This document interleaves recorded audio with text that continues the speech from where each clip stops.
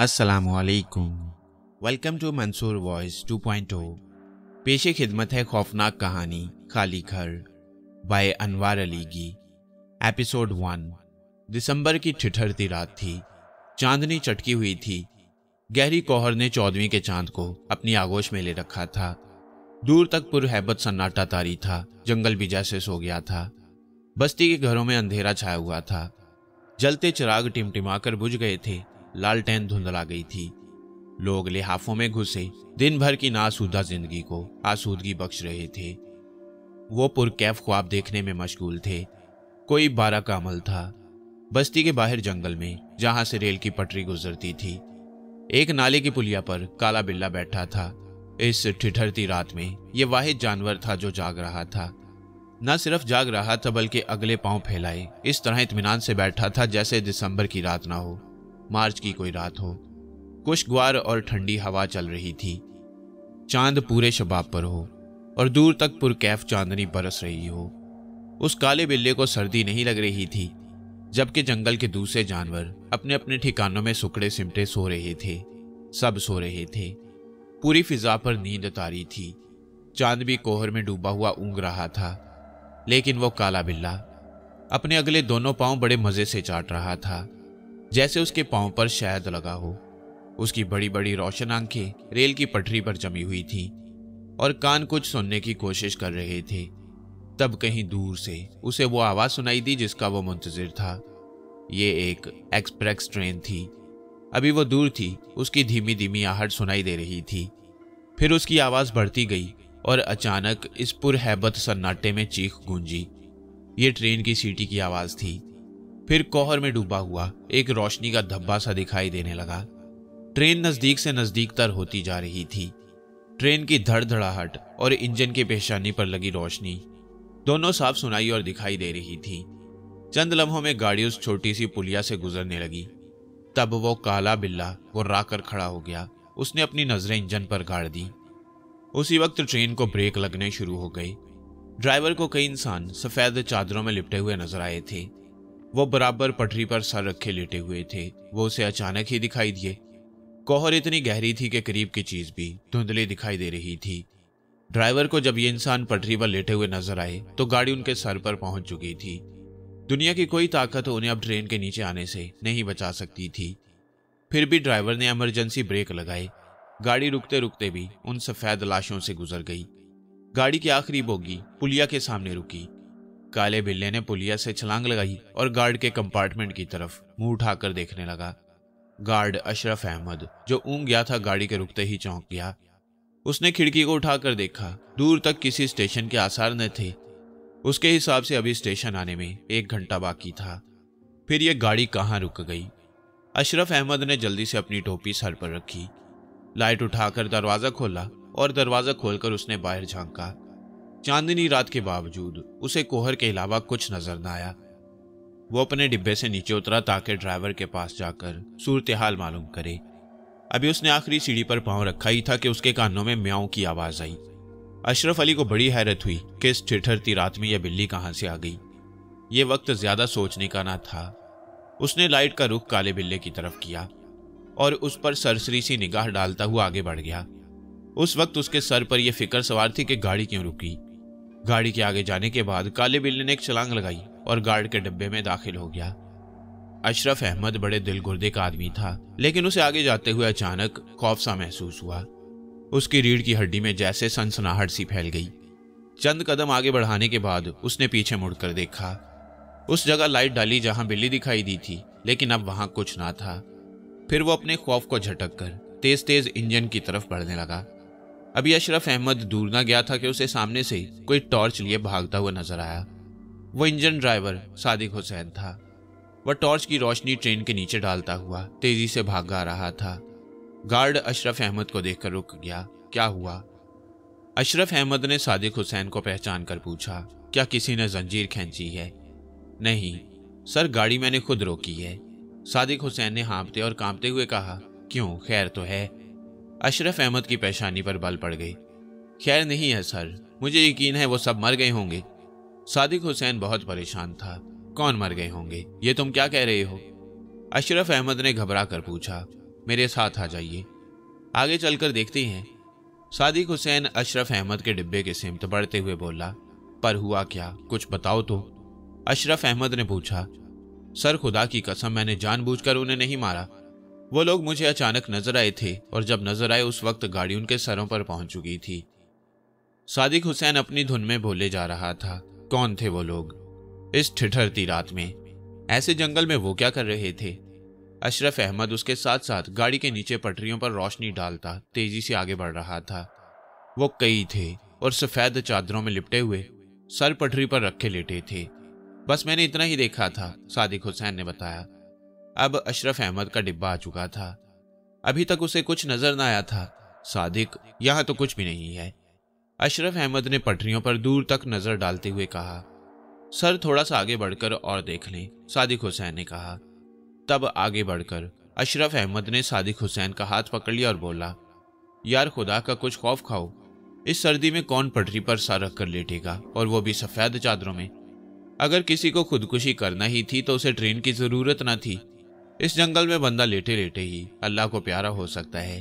Sir, मैं सच कहता हूँ, मैंने इन आँखों से चार पाँच आदमियों को पटरी पर सर रखे लेटे हुए देखा था। तभी मैंने गाड़ी को ब्रेक लगाए थे। सादिक हुसैन ने बड़े यकीन से कहा अच्छा अब जो हमाकत होना थी वो हो गई, गाड़ी चलाओ, और ये दस मिनट तुमने जो बर्बाद किए हैं उसे बराबर करो। गाड़ी को स्टेशन पर राइट टाइम पहुँचना चाहिए। ये कहकर अशरफ अहमद डिब्बे में चढ़ गया। सादिक हुसैन नादिम होता हुआ इंजन की तरफ़ बढ़ा। उसे अपनी नज़रों पर बड़ा गुस्सा आ रहा था। उसकी समझ में नहीं आ रहा था कि आखिर उसने देखा क्या था। यहाँ से वहाँ तक उसे कोई ऐसी चीज़ नज़र न आई थी जो इंसानों का रूप धार लेती। बहरहाल, वह फ्रेबे नज़र का शिकार हुआ।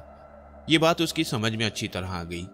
गाड़ी रुकने के बाद जब स्टेशन आने के कोई आसार पैदा ना हुए तो कई मुसाफिरों ने ठंडी हवा की परवाह किए बगैर खिड़कियाँ उठाई। बाहर उन्हें पुरहबत सन्नाटे और धुंध के सिवा कुछ नज़र न आया। वह हैरान रह गए थे कि जंगल में आखिर गाड़ी किस लिए रुकी।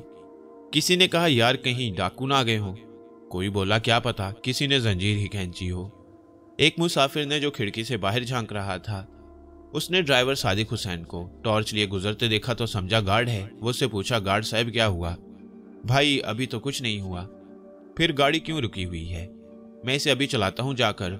आप फ़ौरन खिड़की बंद कर लें सादिक हुसैन ये कहता हुआ आगे बढ़ गया। सादिक हुसैन के लहजे में कुछ ऐसी बात थी कि मुसाफिर खौफजदा हो गया। उसने फ़ौरन खिड़की बंद कर ली। चंद मिनटों के बाद गाड़ी ने हरकत की और फिर उसने बहुत जल्द रफ्तार पकड़ ली। सादिक हुसैन ने ट्रेन की स्पीड बढ़ाकर अगले स्टेशन पर राइट टाइम पहुँचा दिया। गाड़ी के प्लेटफॉर्म पर रुकते ही गार्ड अशरफ अहमद अपने डिब्बे से बाहर आया। सर्दी अपने अरूज पर थी। अशरफ अहमद के दांत बज रहे थे। इस स्टेशन पर गाड़ी दस मिनट ठहरती थी। उसने सोचा चलकर चाय के स्टॉल पर चाय पी जाए। गार्ड के उतरने के बाद वो काला बिल्ला भी डिब्बे से बाहर आया। गार्ड का डिब्बा प्लेटफॉर्म से पीछे था। काले बिल्ले ने डिब्बे से ज़मीन पर छलांग लगाई। छलांग लगाते ही जैसे वो फिजा में तहलील हो गया, वो ज़मीन पर नहीं गिरा। हाँ अलबत्त एक लहीम शीम शख्स कंबल ओढ़े प्लेटफॉर्म की तरफ़ चलता हुआ नज़र आ रहा था।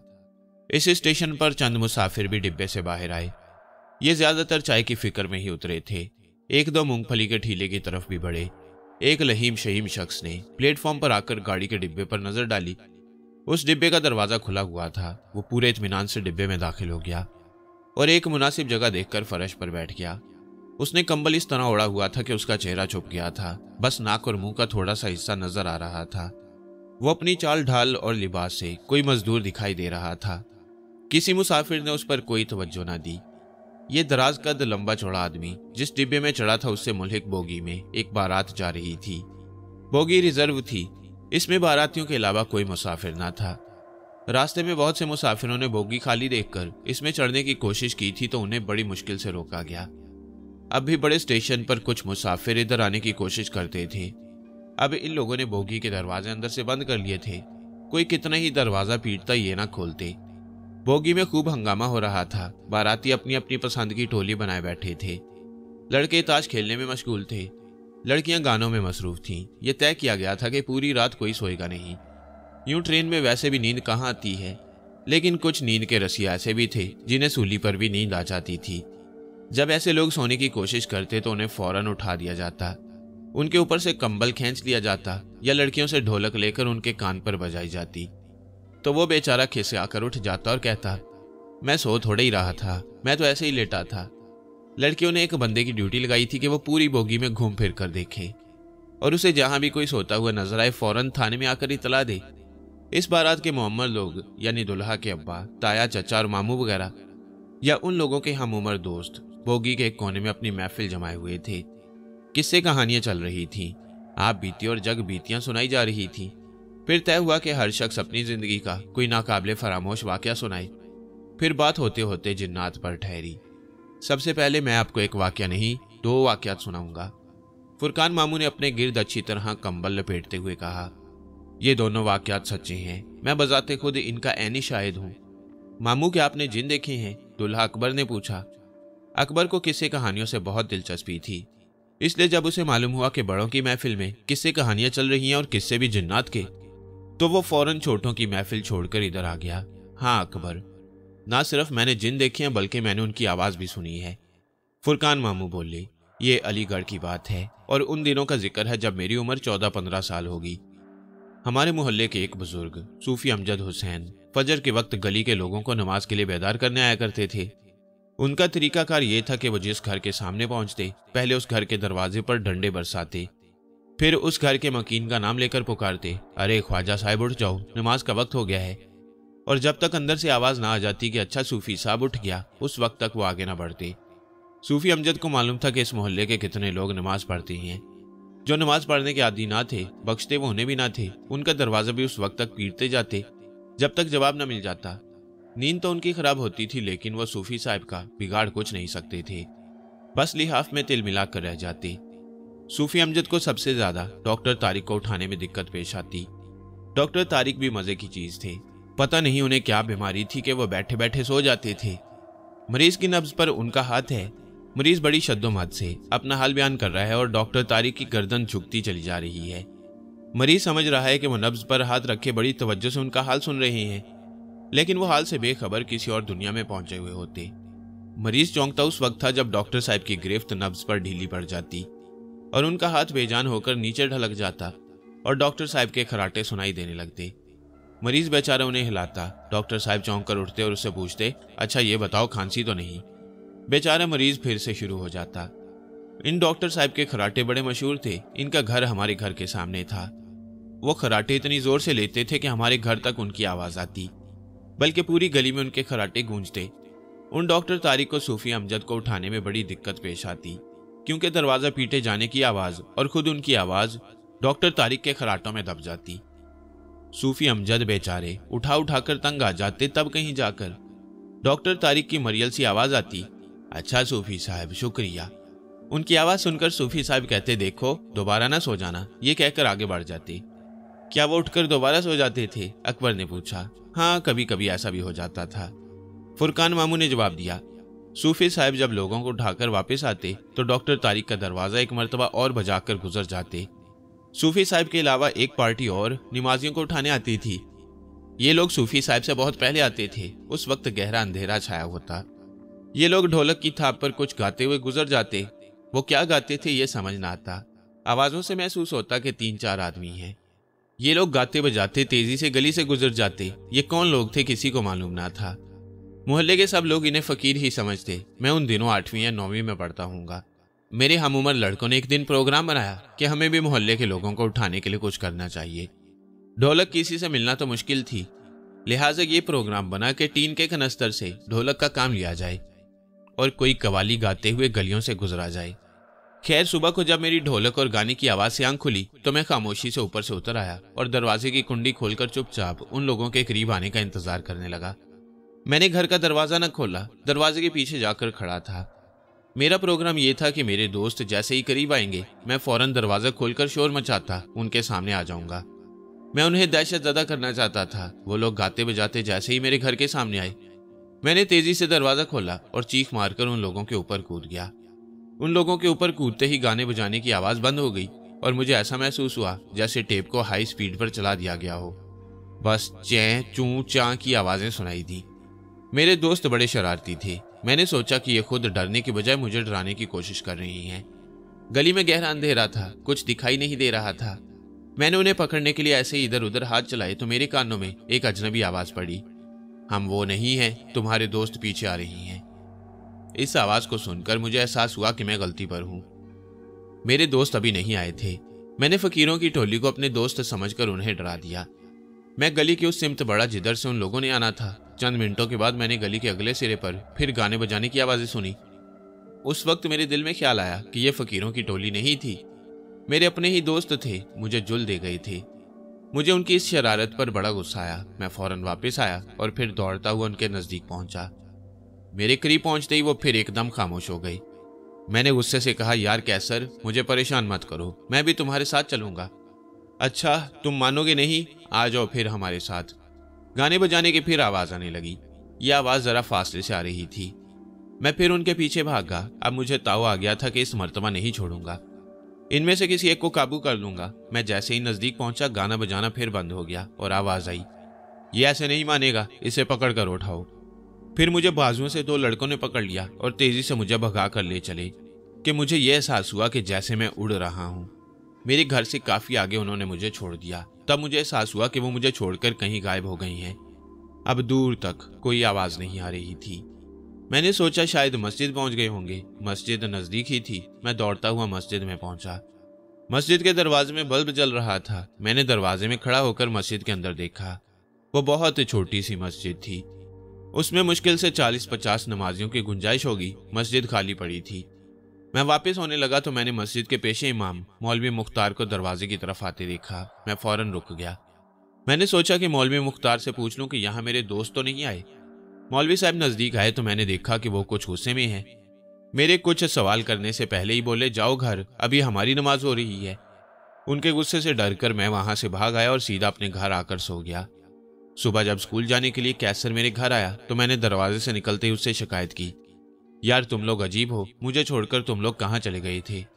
उनके गुस्से से डरकर मैं वहाँ से भाग आया और सीधा अपने घर आकर सो गया। सुबह जब स्कूल जाने के लिए कैसर मेरे घर आया तो मैंने दरवाजे से निकलते उससे शिकायत की। यार तुम लोग अजीब हो, मुझे छोड़कर तुम लोग कहाँ चले गए थे? मुझे अगर साथ नहीं ले जाना था तो मुझसे साथ चलने के लिए क्यों कहा था? कैसर मेरी बात सुनकर हैरान रह गया, बोला, फुरकान, तुम लोग सुबह आए कब? मैं हमीद के घर गया, वो उठा ही नहीं। आवाज़ें दे देकर थक गया। इसके बाद राशिद के घर गया तो मालूम हुआ कि उसकी तबीयत ठीक नहीं। रात को बुखार हो गया था, बस फिर मैं क्या करता? बोर हो गया, तुम्हारे घर भी ना आया। और मैं जाकर खामोशी से सो गया। क्या सर झूठ मत बोलो। ये कहकर मैंने तफसील से पूरा वाक्य सुनाया और आखिर में कहा, मैंने तुम लोगों को मस्जिद तक जाकर तलाश किया। खुदा की कसम, मैं झूठ नहीं बोल रहा। चलो राशिद के घर चलो। वहाँ तुम्हें मालूम हो जाएगा। कैसर ठीक कह रहा था? उसने झूठ नहीं बोला था। इस बात की तस्दीक राशिद और हमीद से मिलकर हो गई। अब मैं बड़ा परेशान हुआ कि वो लोग कौन थे। जिनसे फजर के वक्त मेरी मुलाकात हुई। स्कूल से आकर मैंने खाना वाना खाया और फिर जोहर की नमाज़ पढ़ने चला गया। मस्जिद पहुँचा तो वहाँ मोहम्मद मोहल्ले के एक बुज़ुर्ग ने की। नमाज़ से फारिग होकर मैंने एक नमाजी से मौलवी मुख्तार के बारे में पूछा, मौलवी साहब कहाँ हैं? उस नमाजी ने बताया, मौलवी मुख्तार बीमार हैं। बीमार हैं? मैंने हैरत से कहा। सुबह तो मैंने उन्हें मस्जिद में देखा था। सुबह तुमने कैसे मस्जिद में देख लिया, जबकि वो मस्जिद आए नहीं? सुबह चौधरी साहब ने नमाज़ पढ़ाई थी। अब मैं बड़ा चकराया। मौलवी मुख्तार अगर मस्जिद आए नहीं तो सुबह मैंने किसको देखा? उन्होंने बड़े गुस्से से कहा, जाओ घर, अभी हमारी नमाज़ हो रही है। तो वो नमाज़ किसकी हो रही थी?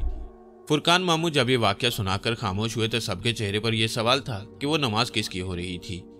वो अगर लड़के नहीं थे तो फिर कौन थे? फुरकान मामू वो कौन थे? अकबर ने पूछा। वो जिन थे। फुरकान मामू ने अपने गिर्द कंबल को अच्छी तरह लपेटते हुए कहा, इसका मतलब है मस्जिद में मौलवी मुख्तार की सूरत में जो शख्स आपके सामने आया वो भी जिन था। बेशक, क्योंकि मौलवी मुख्तार उस सुबह बीमार थे, वो घर से नमाज़ पढ़ाने निकले ही नहीं। फुरकान मामू ने कहा, क्या जिन भी नमाज़ पढ़ते हैं? अकबर ने पूछा हाँ क्यों नहीं? इंसानों की तरह जिन भी मुसलमान होते हैं, नमाज़ पढ़ते हैं मामू, आपने बताया कि जब आप दरवाज़ा खोलकर अचानक बाहर आए तो आपने चू चाँ की आवाज़ें सुनी, वो क्या थी? अकबर ने सवाल किया।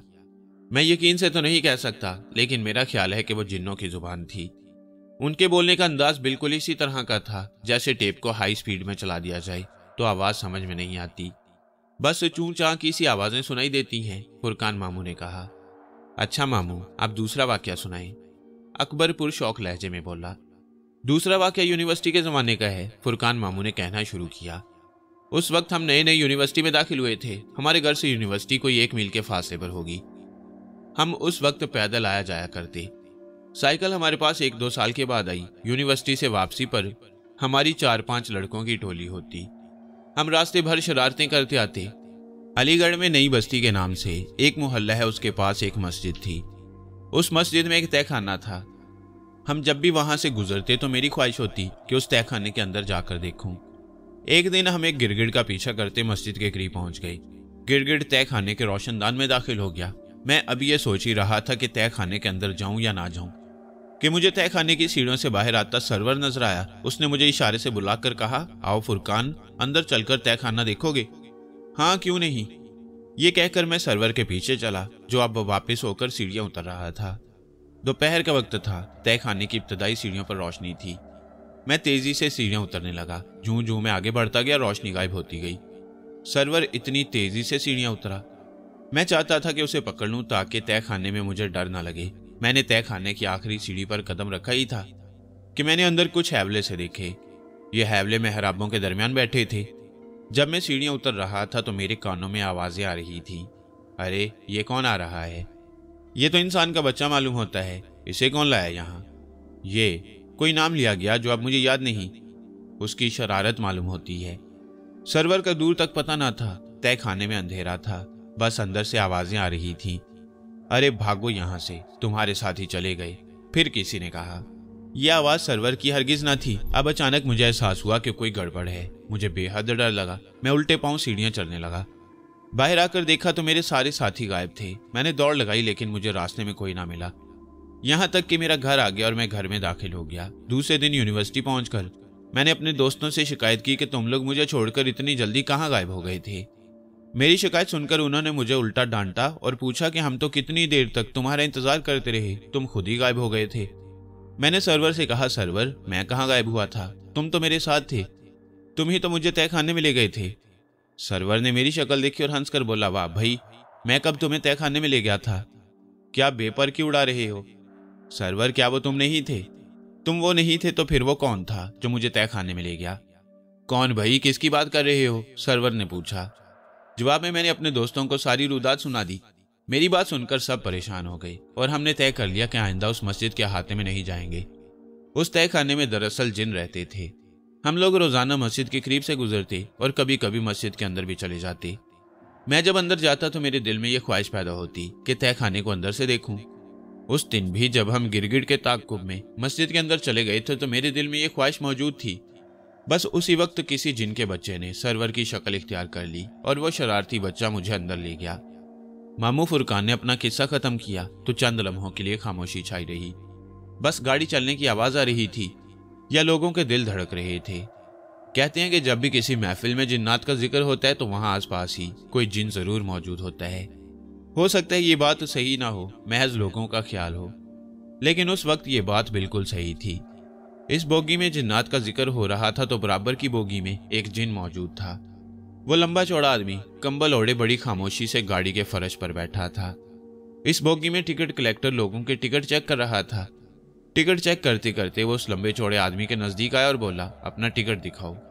उस लंबे चौड़े आदमी ने जैसे सुना ही नहीं, खामोशी से सर झुकाए बैठा रहा। तब कलेक्टर ने उसके कंबल का कोना पकड़कर हिलाया और कहा, भाई, टिकट दिखाओ। अब उस लंबे चौड़े आदमी ने अपना सर उठाया और खाली खाली नज़रों से टिकट कलेक्टर को देखा। ज़ुबान फिर भी ना हिलाई, मेरी शक्ल क्या देख रहे हो? जल्दी से टिकट दिखाओ। टिकट कलेक्टर ने जरा सख्त लहजा इख्तियार किया। टिकट? उस लंबे चौड़े आदमी ने बड़ी मासूमियत से पूछा हाँ भाई, टिकट? क्या तुमने कभी टिकट नहीं देखा? ना जी। मुझे तो नहीं मालूम कि टिकट क्या होता है। मैंने कभी नहीं देखा। जरा दिखाएँ तो कैसा होता है टिकट? उसके लहजे में बड़ी मासूमियत थी।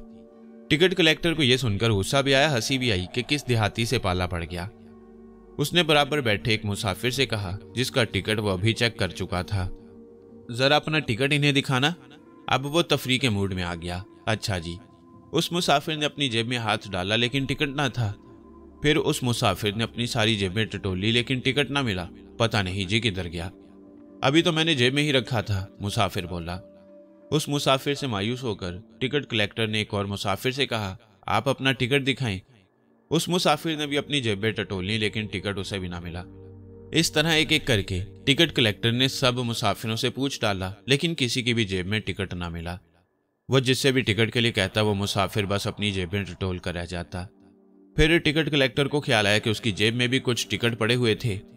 उसने अपनी जेब में हाथ डाला फिर एक एक करके। सब जेबें देख डाली, लेकिन टिकट ना मिलने थे, ना मिले। टिकट कलेक्टर की पेशानी पर पसीने की बूंदें चमकने लगी।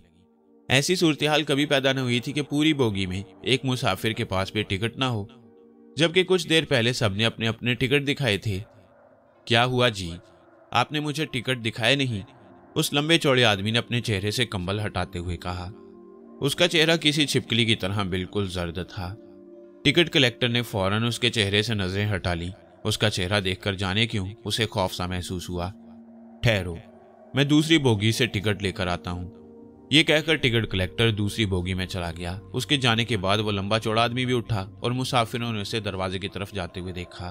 पाँच मिनट बाद वो टिकट कलेक्टर वापस आया। उसके हाथ में कई टिकट थे, लेकिन उस लंबे चौड़े आदमी की जगह खाली थी। किधर गया ये? टिकट कलेक्टर ने उसके करीब बैठे हुए मुसाफिर से पूछा, वो जी, दरवाजे की तरफ़ गया था? उसने बताया, टिकट कलेक्टर दरवाजे की तरफ़ आया, लेकिन वहाँ कोई ना था। उसने टॉयलेट का दरवाज़ा खोला, वहाँ भी कोई ना था। गाड़ी बर्क रफ्तारी से चल रही थी। चलती गाड़ी से उतरने का सवाल ही पैदा ना होता था। टिकट कलेक्टर ने बराबर की बोगी भी छान मारी, मगर वो कहीं नज़र ना आया। फिर टिकट कलेक्टर वापस आया। अब वो उस बोगी में आया जिसमें बारात सफ़र कर रही थी। ये बोगी उस बोगी से मुल्हिक थी जिसमें वो लंबा चौड़ा आदमी बैठा था।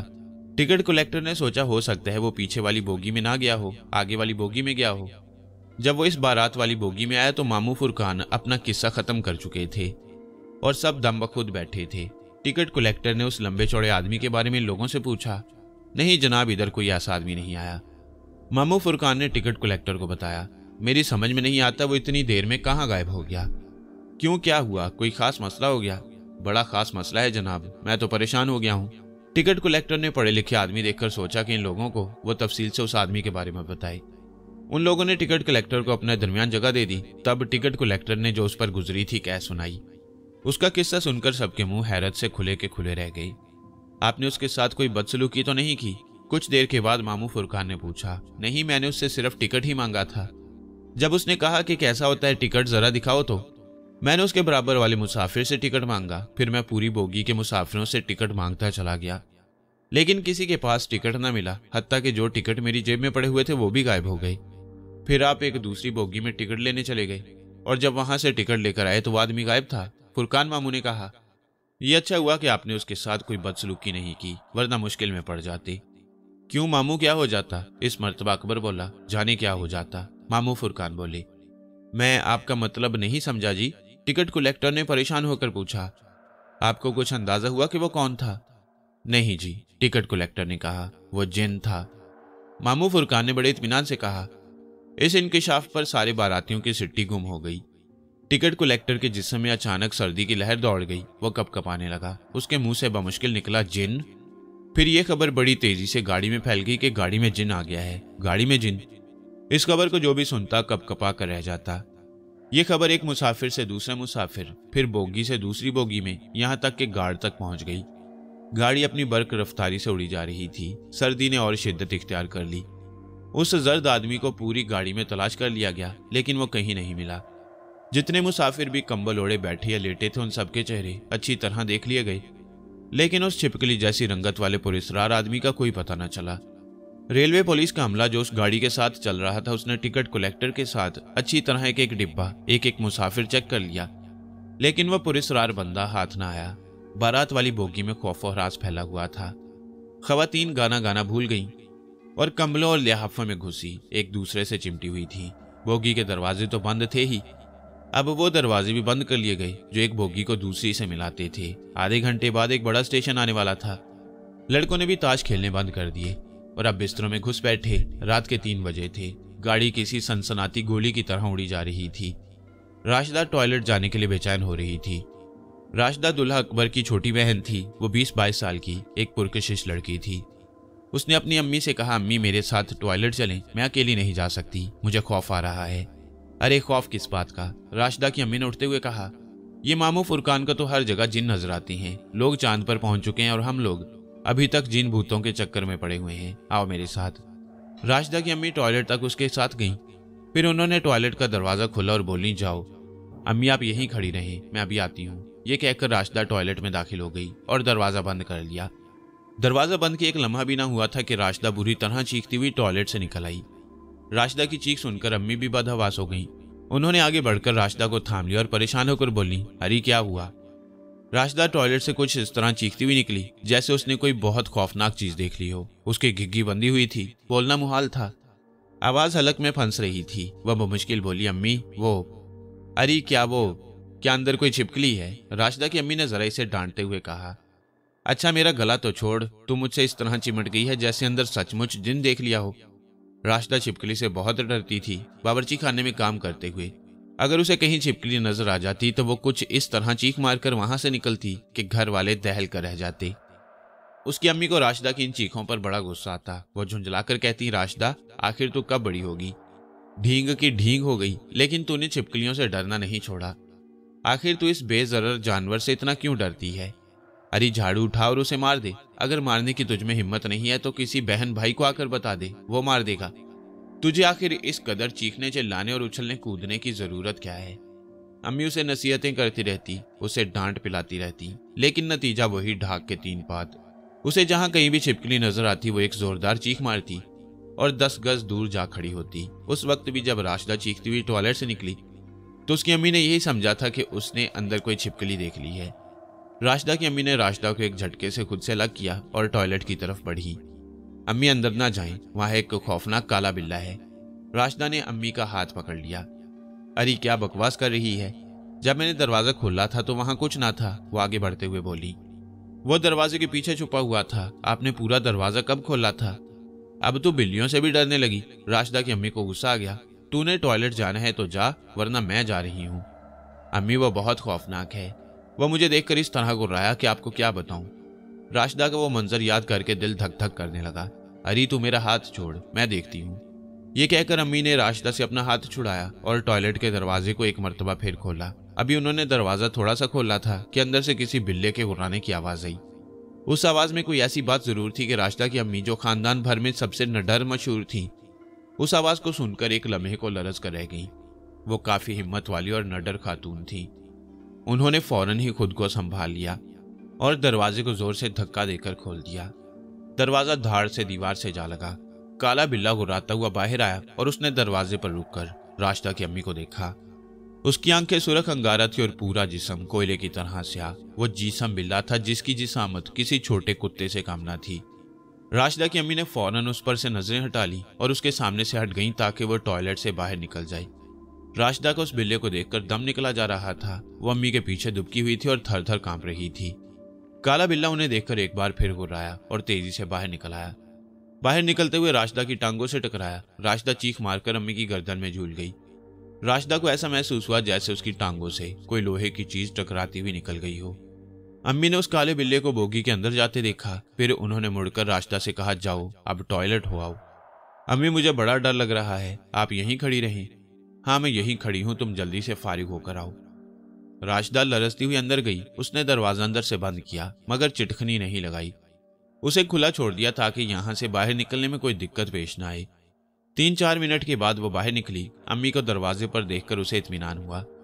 उसने ज़बरदस्ती मुस्कुराते हुए कहा, अम्मी, चलें? राशिदा और उसकी अम्मी एक साथ ही कंबल में बैठी हुई थी। कंबल सुकड़ा हुआ सीट पर पड़ा था। राशदा ने बैठने के लिए जैसे ही कंबल उठाया तो उसकी फलक शगाफ चीखें बोगी में बुलंद होने लगी। वो कुछ इस तरह हड़बड़ाकर पीछे हटी कि अगर अम्मी बर्थ की जंजीर ना थाम लेती तो ज़मीन पर जा गिरती। वो काला बिल्ला कंबल के अंदर बड़े इतमान से बैठा हुआ था। कंबल के उठाते उसने ज़मीन पर छलांग लगाई और बर्थ के नीचे चला गया। राशिदा की चीखें सुनकर बराबर के पार्टीशन से। अकबर ने ऊपर की बर्थ से छलांग लगाई और खवातीन वाले हिस्से में आ गया। क्या हुआ? उसने अम्मी से पूछा, जाने कहाँ से कम वक्त एक बिल्ला आ गया है? अभी टॉयलेट में था, वहाँ से बगाया तो हमारे कंबल में घुसकर बैठा है, अम्मी ने बताया। अब कंबल से निकलकर बर्थ के नीचे जा घुसा है। जिनकी खबर ने पहले ही खवातीन में दहशत फैलाई हुई थी। सारी खवातीन अपने अपने कमलों में बैठी या लेटी थी। राशदा की दिलदोज चीखों और काले बिल्ले की आमद ने उन्हें और खौफजदा कर दिया। सारी खवतान ने अपने आप को लिहाफों और कमलों में अच्छी तरह छुपा लिया। बिल्ले की खबर पाकर खानदान और कई लड़के भी उठकर इधर आ गए अकबर ने बर्थ के नीचे झाँक कर देखा, बर्थ के नीचे हल्का अंधेरा था। उस हल्के अंधेरे में उसे एक कोने में, बिल्ले की लाल लाल आँखें दहकती हुई नज़र आई। फिर उसने गुर्राने की आवाज़ निकाली। अकबर ने करीब ही पड़ा हुआ, ऊँची एड़ी का सैंडल उठाया और झुककर उस काले बिल्ले को दे मारा। वो सैंडल उसके सर पर लगा। काला बिल्ला बर्थ के नीचे से गुर्राता हुआ भागा और अब सामने वाली सीट के नीचे घुस गया। किधर गया? अकबर ने अब दूसरा जूता हाथ में ले लिया। इधर सीट के नीचे एक लड़के ने बताया अकबर ने इस मरतबा झाँक कर देखने के बजाय अंदाजे से जूता फेंक कर मारा। उसकी काली दुम सीट से बाहर निकली हुई थी। इस मरतबा जूता काले बिल्ले के पेट पर पड़ा। वो वहाँ से फिर गुर्राता हुआ निकला और इस मरतबा लड़कों वाले हिस्से में एक बर्थ के नीचे चला गया। बोगी में बिल्ले की आमद से अच्छी खासी खलबली मच गई। वो बिल्ला जूता खाकर एक सीट से निकलकर दूसरी सीट के नीचे चला जाता। बोगी में मुसलसल किधर गया किधर गया की आवाज़ें गूंज रही थी। शोर सुनकर फुरकान मामू उठकर अपने पार्टीशन से बाहर आए तो उन्होंने देखा कि बाहर घुमसान का रन पड़ा है। हर लड़के के हाथ में एक जूता और नज़रें ज़मीन पर थीं। क्या हुआ भाई? मामू फुरकान ने पूछा। एक बिल्ले ने परेशान कर रखा है मामू। अकबर ने कहा, इधर से मारते हैं तो उधर घुस जाता है। वहाँ से भगाते हैं तो इधर आ जाता है। मारो नहीं उसे। मामू फुरकान ने हदायत की, ऐसे ही घेर कर बाहर निकाल दो। फिर उन्हें ख्याल आया कि डब्बे के तमाम दरवाजे बंद हैं। गाड़ी चल रही है। ऐसे में उसे बाहर निकालना मुमकिन न था। फिर वो कुछ सोचकर बोली, ऐसा करो, टॉयलेट का दरवाज़ा खोल दो और उसे उसमें बंद करके बाहर से दरवाज़ा बंद कर दो। मामू फुरकान की यह तजवीज अच्छी थी। सारे लड़के उस काले बिल्ले को मारने पर तुले हुए थे। किसी ने उसे छुटकारा हासिल करने के बारे में गौर न किया था। उससे छुटकारा मामू फुरकान की तजवीज पर अमल करके ही हासिल किया जा सकता था। तब अकबर ने अपने खानदान के लड़कों और दोस्तों को इस तरह इकट्ठा किया कि बिल्ला सीट के नीचे से निकले तो उसका रुख टॉयलेट की तरफ़ हो जाए। कुछ देर की मेहनत के बाद अकबर अपने साथियों की मदद से उस काले बिल्ले को टॉयलेट में घुसाने में कामयाब हो गया। बिल्ले के टॉयलेट में जाते ही अकबर ने उसका दरवाज़ा बंद कर दिया और बाहर से कुंडी लगा दी। इस बोगी में सारे अपने ही लोग थे, इसलिए यह खतरा न था कि कोई टॉयलेट का दरवाज़ा खोल देगा। बोगी के तमाम लोगों को बता दिया गया कि इस टॉयलेट में बिल्ला बंद है। लिहाजा दूसरा टॉयलेट इस्तेमाल करें। लड़कों का ख्याल था कि अगले स्टेशन पर गाड़ी रुकते ही इस बिल्ले को दरवाज़ा खोलकर बाहर निकाल देंगे। लेकिन हुआ ये कि कई स्टेशन आए और चले गए, लेकिन उस बिल्ले को टॉयलेट से बाहर निकालने के लिए कोई ना उठा। असल में बात यह थी कि रात अपनी बिखरी जुल्फों को समेट रही थी। सुबह होने को थी। रात भर बारातियों ने उधम मचाया था। अब सब नींद की लपेट में थे और लिहाफों और कमलों में धुपके नींद के मज़े ले रहे थे। सुबह के वक्त गाड़ी किसी स्टेशन पर रुकी। राशदा की अम्मी की आँख खुली तो उन्होंने राशदा को उठाया, फिर एक एक करके सारे बाराती जाग गए अकबर को फ़ौरन बिल्ले का ख्याल आया। वो अपनी बर्थ से नीचे कूदा और टॉयलेट की तरफ़ चला। उसके साथ खानदान के एक दो लड़के भी हो गई। टॉयलेट का दरवाज़ा खोलने से पहले अकबर ने बोगी का दरवाज़ा खोला ताकि बिल्ला टॉयलेट से बाहर आए तो सीधा दरवाजे से प्लेटफॉर्म पर चला जाए। अकबर ने टॉयलेट का दरवाज़ा खोला। उसका ख्याल था कि दरवाज़ा खुलते ही वो काला बिल्ला फ़ौरन बाहर आ जाएगा, लेकिन ऐसा ना हुआ। तब अकबर ने टॉयलेट में झाँक कर देखा, अंदर कोई ना था। टॉयलेट खाली पड़ा था। यार किधर गया? अकबर ने अपने चचाजाद भाई से मुखातिब होकर कहा, अभी उसका चचाजाद भाई जवाब में कुछ कहने ही वाला था कि अंदर से गुर्राने की आवाज़ आई। काला बिल्ला टैंकी के ऊपर बैठा था। उसने वहाँ से छलांग लगाई और सीधा अकबर के कंधे पर सवार हो गया। उस काले बिल्ले में इतना वज़न था कि अकबर खड़ा ना रह सका, वो फ़ौरन फर्श पर बैठ गया। तब बिल्ले ने खुले दरवाजे से बाहर छलांग लगाई और प्लेटफॉर्म पर चला गया। अकबर फ़ौरन उठकर खड़ा हो गया और अपने कंधे सहलाने लगा, यार, ये क्या चीज़ थी? उसने अपने चचाजाद भाई को मुखातिब किया। भाई वो चीज़ नहीं, बिल्ला था, बिल्ला। यार, इतना वजनी। जब वो मेरे कंधे पर आया तो मुझे ऐसा लगा, जैसे दो मन की बोरी मेरे कंधे पर लाद दी गई हो। इतना वज़न था उसमें। चचाजाद भाई की आँखें हैरत से फैल गईं। बिल्ला था या कोई गधा था? अल्लाह जाने क्या चीज़ थी। इतना वजनी बिल्ला मैंने कहीं नहीं देखा। वो गया किधर? उसके चचाजाद भाई ने दरवाजे से बाहर झांका, लेकिन दूर तक उसे बिल्ले नाम की कोई चीज़ ना दिखाई दी। चल यार, फुरकान मामू को बताते हैं। अकबर ने कहा और फिर वो बोगी का दरवाज़ा बंद करके फुरकान मामू के पार्टीशन की तरफ़ चले। फुरकान मामू जो खिड़की से बाहर गुजरते प्लेटफॉर्म को देख रहे थे, अकबर की आवाज़ सुनकर उन्होंने अपना रुख उधर फेरा और बोले हाँ भाई, अकबर बिल्ले को आज़ाद कर दिया। मामू, मुझे तो डर लग रहा है, वो बिल्ला जाने क्या चीज़ थी? अकबर के लहजे में खौफ था, क्यों, क्या हुआ? मामू, फुरकान ने उसकी आँखों में झांकते हुए पूछा, मामू, उस बिल्ले की जिसामत तो किसी कुत्ते से कम न थी? लेकिन उसका वज़न भी किसी गधे के बराबर था। मामू मेरे कंधे अब तक दुख रही हैं। ये कहकर अकबर ने सारी तफसील बता दी। अच्छा। मामू फुरकान ने यह सुनकर एक गहरा सांस लिया और फिर बोले, जरा इधर आओ। अकबर उनके करीब चला गया। मामू फुरकान ने उसके कंधे को सूंघ कर देखा, फिर उसकी कमीज हटाकर कंधा देखा। उसके कंधे पर गर्दन के नीचे एक हल्का सा खराश का निशान था। जैसे वहाँ उस बिल्ले का नाखून लगा हो, खाल छिल गई थी। और खून की एक बारीक लकीर बन गई थी। अकबर, तुम्हें ऐसे ही वहम हो रहा है। एक बिल्ले में भला इतना वज़न कैसे हो सकता है? असल में वो तुम्हारे ऊपर कूदा इस अंदाज में होगा कि तुम तोज़न बरकरार न रख सके। मामू फुरकान ने उसे समझाने की कोशिश की, लेकिन खुद उनके चेहरे पर फ़िक्र की लकीर गहरी होती जा रही थी। वो नहीं चाहते थे कि अकबर, जिसकी शादी होने जा रही थी, किसी डर खौफ में मुबतला हो जाए। अब वो अच्छी तरह समझ गए थे कि वो काला बिल्ला क्या शय थी। वो दिल ही दिल में अल्लाह का शुक्र अदा कर रही थी कि वो बगैर कोई नुकसान पहुँचाए इस बोगी से चला गया। जबकि इन लड़कों ने उसकी जूतों से खूब पिटाई भी की थी। उसे एक जगह चैन से न बैठने दिया था। फुरकान मामू बड़े जहाँ दीदा आदमी थे। साठ बासठ साल के होंगे, लेकिन देखने में पचास से ज़्यादा खेना लगते थे। कसरती बदन के मालिक थे, खूब चाको चौबंद। वो मुश्किल से ही बीमार हुए थे। बीमार होते तो कभी डॉक्टर, हकीम के पास ना जाते। टूने टूटकों से अपना इलाज खुद ही कर लेते। क्या छोटा, क्या बड़ा, सब उन्हें मामू कहते। छोटे बच्चे खैर उन्हें कहते ही मामू थे, लेकिन मज़े की बात यह थी कि उन बच्चों के दादा भी उन्हें मामू कहकर पुकारते। फुरकान मामू मस्त मलंग आदमी थे, अपने से बड़ों के मामू कहने पर नाराज़ ना होते। वो रोज़े नमाज़ के पाबंद थे, कुछ अमलियात से भी वाकिफ थे, झाड़ फूंक भी कर लिया करते थे। लेकिन ये अमलियात, ये झाड़ फूंक सिर्फ़ खानदान तक महदूद थी। कराची की एक पुरौनक मार्केट में उनकी कपड़े की दुकान थी। अलीगढ़ में उनका तालों का कारखाना था। पाकिस्तान आने के बाद उन्होंने यहाँ भी ताले बनाने की कोशिश की। लेकिन कारीगरों की अदम दस्तियाबी की बिना पर उन्होंने अपना कारखाना बंद कर दिया और कपड़े की दुकान खोल ली। कपड़े की वो दुकान जो शुरू में एक छोटी सी दुकान पर मुश्तमिल थी, अब चार दुकानों तक वसत इख्तियार कर गई थी। नेक नियत आदमी थे इसलिए पुरसकून और खुशहाल ज़िंदगी गुजार रहे थे। हर शख्स के दुख सुख में काम आना उनकी ज़िंदगी का नस्बोलैन था। खानदान की कोई तकरीब उनके बगैर फीकी रहती। वो बागो बहार तबीयत के मालिक थे, बच्चों में बच्चे बन जाते, बड़ों में बड़े हो जाते। किस्से कहानियाँ उन्हें बहुत याद थी जिनों से उन्हें बचपन से दिलचस्पी थी। अलीगढ़ में जिस घर में उनका बचपन और जवानी गुजरी थी, उस घर में भी असर था। गर्मियों के दिन में जब वो खुली छत पर सोने के लिए लेटते तो कभी कभी उन्हें ऐसा महसूस होता, जैसे कोई साया सा उनके ऊपर से गुजर गया है। चांदनी रातों में खास तौर पर ऐसा होता। एक दिन रात को दो बजे के करीब उन्होंने फड़फड़ाहट की आवाज़ सुनी। उन्हें ऐसा महसूस हुआ जैसे कोई कबूतर छत से उड़ गया हो। उनका घर तीन मंजिलों पर मुश्तमिल था। घर वालों की रिहाइश ज़्यादातर दूसरी मंजिल पर थी। नीचे वाला घर तकरीबन खाली पड़ा रहता। कोई मेहमान वगैरह आ जाता तो आबाद होता, या कोई मिलने जुलने वाला आ जाता तो कुछ देर के लिए बैठक खुल जाती। हाँ गर्मियों के दिनों में घर वाले दोपहर को नीचे वाले घर में आ जाते। क्योंकि नीचे का घर अलीगढ़ की झुलसा देने वाली गर्मी और आग लगा देने वाली लू में गोशा आफियत समझा जाता। उस सफ़ेद दाढ़ी वाले आदमी को फुरकान मामू ने कई मरतबा देखा था। दोपहर को सोते सोते अचानक उनकी आँख खुल जाती तो वो शख्स उनकी पाइंती पे बैठा नज़र आता। वो कोई लंबा चौड़ा आदमी था, अंधेरे कमरे में वो साफ़ नज़र आता। उसका सीधा हाथ कंधे तक उठा होता और उंगलियाँ इस तरह मुड़ी होती जैसे कोई पंजा लड़ाने के लिए हाथ बढ़ाए। वो हमेशा एक ही हालत में नज़र आता। खामोश बैठा हुआ, हाथ ऊपर उठाए हुए। उसे देखकर मामू फुरकान के जिसम में खौफ की लहर दौड़ जाती।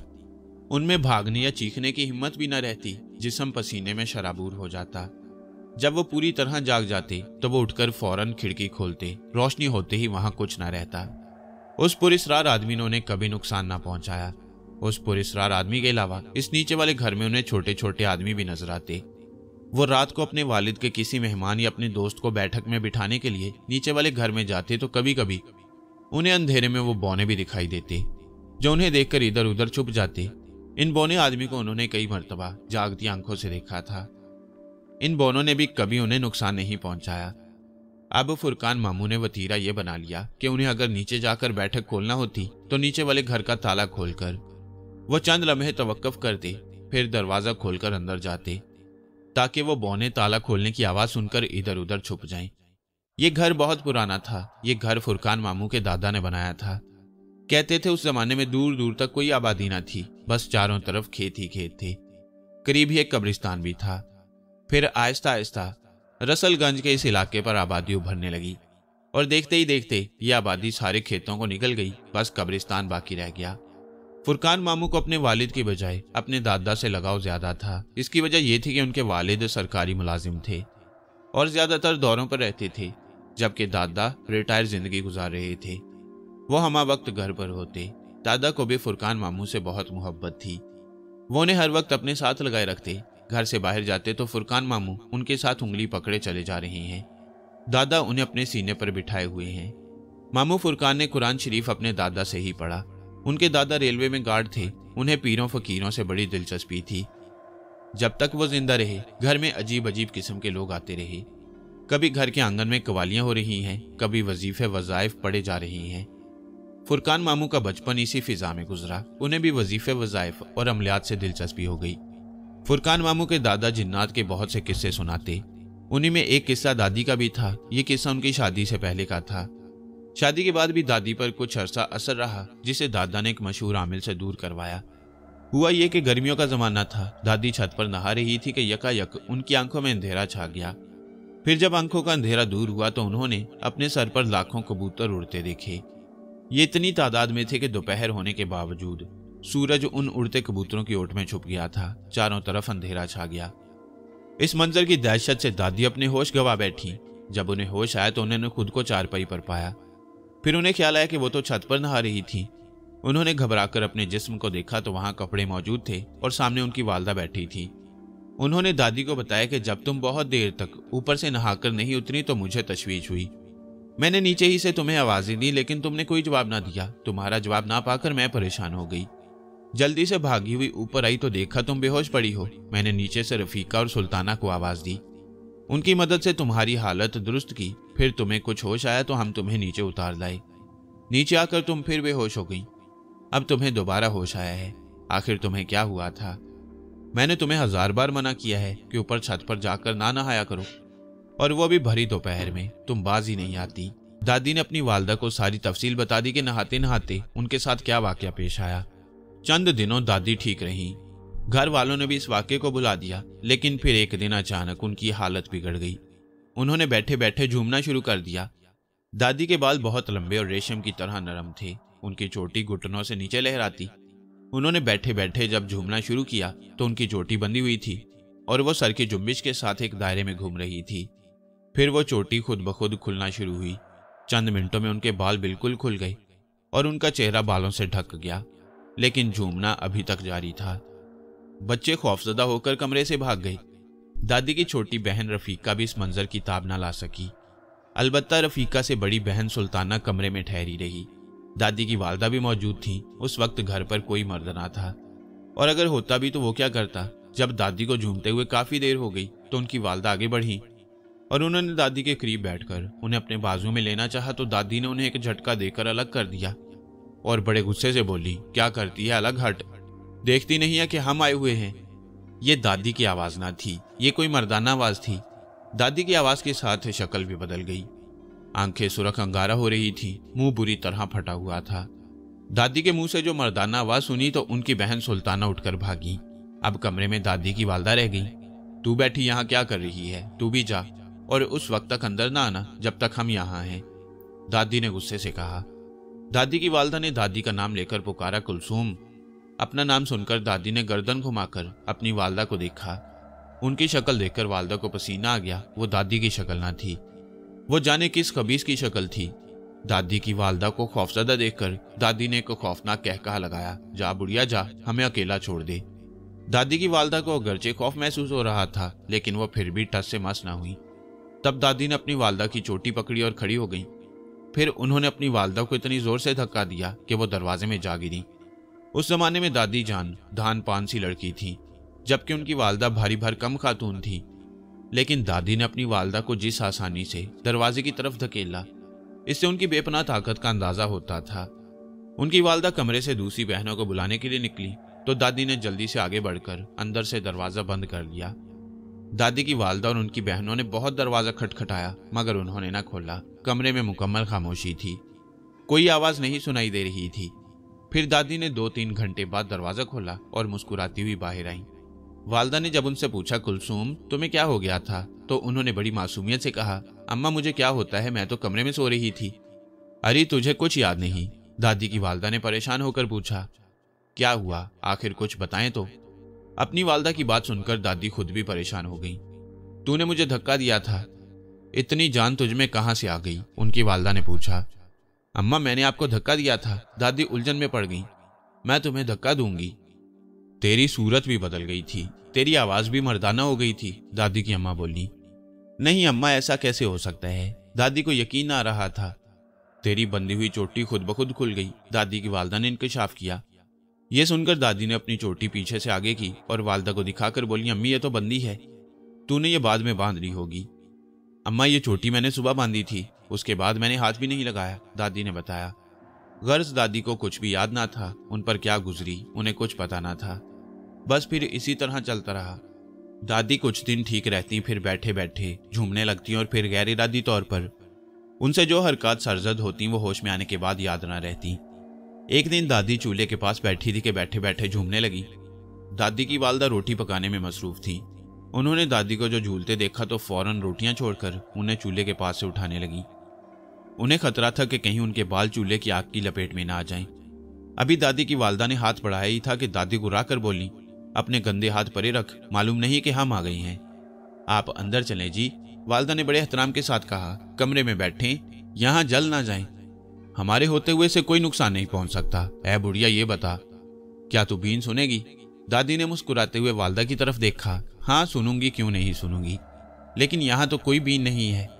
दादी की अम्मा बोली, बीन नहीं है। दादी ने वालदा का मज़ाक उड़ाने वाले अंदाज में कहा, ये जो है, ये तो फूकनी है। अरे, तू क्या जाने ये क्या है? ला, इधर दे मुझे। ये कहकर दादी ने अपनी वालदा से फूकनी छीन ली। फिर दादी ने उस फूकनी को दोनों हाथों में लेकर मुँह में दबा ली। और जब फूंक मारी तो वो सुपेरे की बीन की तरह बज उठी। दादी बहुत देर तक उस फूकनी को बीन बनाए बजाती रही। पूरा घर इकट्ठा हो गया। बीन की आवाज़ सुनकर पास पड़ोस के लोग भी आ गए। लेकिन उन्हें किसी की परवाह नहीं थी। वो अपनी धुन में मगन बीन बजाए जा रही थी। फिर एक घंटे तक मुसलसल बीन बजाने के बाद वो थक कर ज़मीन पर लेट गईं और बेहोश हो गईं। जब दो घंटे बाद वो होश में आई तो उन्हें कुछ याद ना था। दादी की वालदा ने कहा भी, अरे कलसूम तूने बड़ी अच्छी बीन बजाई थी। जरा अब तो बजा कर दिखा। तो ये सुनकर दादी हंसने लगी, अम्मा, अब तुम भी मज़ाक करने लगी हो। दादी को क्या पता था कि अम्मा के दिल पर क्या बीत रही है। वो मज़ाक कर रही थी या मुस्कुरा कर अपने आँसू पी रही थी। दादी की माँ को दादी की शादी की फ़िक्र खाई जा रही थी। दादा से उनका निकाह हो चुका था, सिर्फ़ रुखसती बाकी थी और रुखसती से पहले ही उन पर साया हो गया। ये वालदेन के लिए ऐसा गम था जिसका कोई मदावा ना था। दादी कभी बिल्कुल ठीक हो जाती पंद्रह पंद्रह दिन तक उन पर कोई दौराना पड़ता। ऐसा महसूस होता जैसे कभी उन पर कोई असर ही ना हुआ हो। लेकिन फिर अचानक एक ऐसा वक्त आता कि दादी अपने आप पे मिला रहती और वो कर गुजरती जिसकी एक होशमंद इंसान से तो नहीं की जा सकती। दादी के वालिद मुसलसल उनका इलाज करवा रहे थे।